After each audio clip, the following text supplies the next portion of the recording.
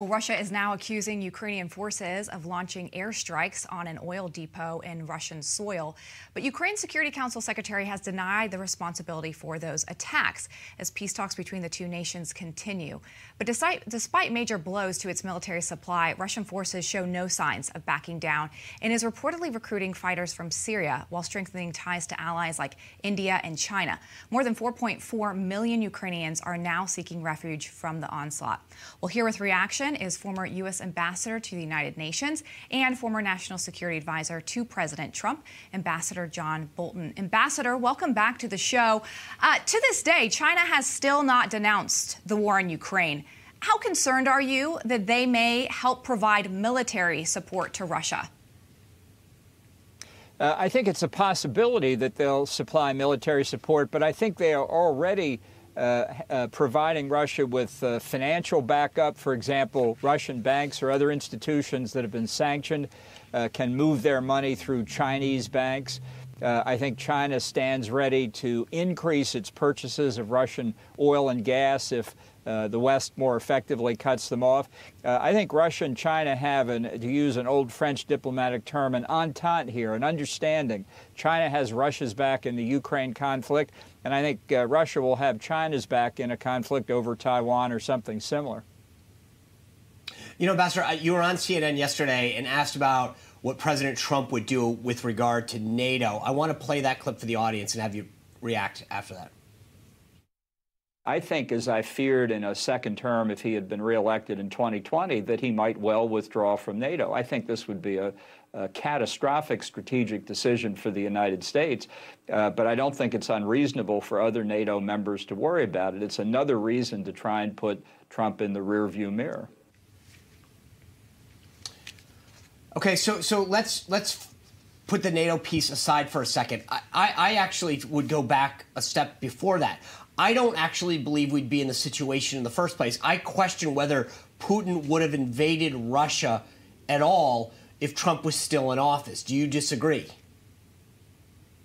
No, I think he would have. Look, th this is uh, uh, one mistake the Biden administration is making is saying this is Putin's war. He's made all these decisions. Uh, I think to understand this best, this is Russia's war. Uh, Putin's view that Ukraine and Belarus, while we're on the subject, are part of the Rodina, the mother Russia, is widely held in, uh, in, in Russia to this day. And recent independent public opinion polls show support for Putin rising over the past several weeks. So this was coming at some point. Uh, the, the first uh, invasion was in 2014. Uh, and I think it was just a matter so, of time before Putin concluded it was time for the second bite. So explain to me then just why why for four years for every president what in the last five presidents or I'm trying to do the math here he had done something he had he had gone to war he had invaded another country for four years of Trump nothing why would he have done it suddenly then in a second term of Trump well, he only did it twice. Twice is bad enough, don't get me wrong, but he invaded Georgia in 2008 and invaded Ukraine the first time in 2014. What happened after the first invasion of Ukraine was uh, a series. Uh, that that was part of the 2014 invasion to take Crimea and annex it and take the two uh, slices out of the Donbass part of Ukraine. All all occurred uh, basically about the same time.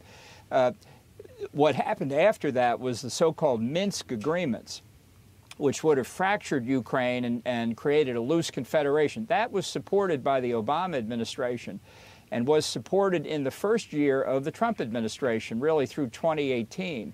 So at that point, Putin still thought he had a chance to get what he wanted without hostilities. Then we saw in the summer of 2018 President Trump come very near to withdrawing from NATO at the uh, Brussels NATO summit that summer of 2018, and the controversy continued through until the summer of 2019 when we had the famous controversy over withholding security assistance from Ukraine that went through the entire 2020 election. Now, even Vladimir Putin knows when, when your adversary is in deep trouble, as Zelensky was with its principal ally, the United States, in the middle of an election campaign, you're not going to take the chance uh, of getting involved in that. So I think he thought he would wait until the second Trump term. That didn't happen. He met with Biden in the summer of 2021 for three and a half hours, sized him up, uh, and now we are where we are. I mean, the big question is how can Putin be stopped at this point? These sanctions don't seem to be working. Ambassador, in the past, I know that you have been a strong advocate of U.S. military involvement in other ways. Where do you come down on U.S. troops on the ground in Ukraine? Well, I think it's too late for that now. I think I think we've made so many mistakes. Uh, the analogy I use is uh, you're asking quite quite legitimately about what I would do on this chess game's 20th move when I think the last 15 from our side have been mistakes. Uh, but I do think it's critical that uh, the Russian invasion not succeed. I think the Ukrainians have uh, fought extraordinarily bravely, and the Russian performance has been catastrophic. That, that leads me to conclude that Putin has to secure something he can call a military victory here, because otherwise the reputational hit that the Russian military has taken is, is irreparable. So I think this conflict's going to go on for a long time. And I think the real issue is will we apply enough economic pressure against Russia?